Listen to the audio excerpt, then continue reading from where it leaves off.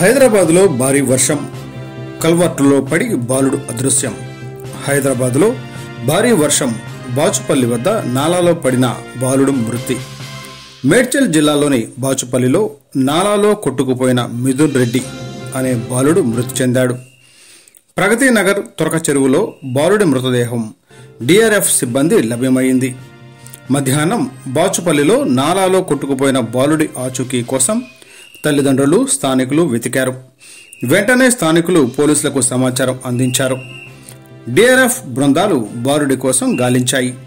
బాలుడి ఆచూకీ లభించినా తను మాత్రం ప్రాణాలతో లేకపోవడంతో ఆ కుటుంబం విషాద ఛాయలు అలుముకున్నాయి. పోలీసులు స్థానికులు తెలిపిన వివరాల ప్రకారం సూర్యాపేటకు చెందిన సంతోష్ రెడ్డి దంపతులు కుమారుడు మిథున్ రెడ్డి. ఓ ఫార్మా కంపెనీలో బాలుడు తండ్రి పనిచేస్తున్నారు. ఉదయం పదకొండు గంటల ముప్పై నిమిషాలకు ఇంటి ముందు ఆడుకుంటూ ప్రక్కనే ఉన్న నాలాలో బాలుడు పడిపోయాడు.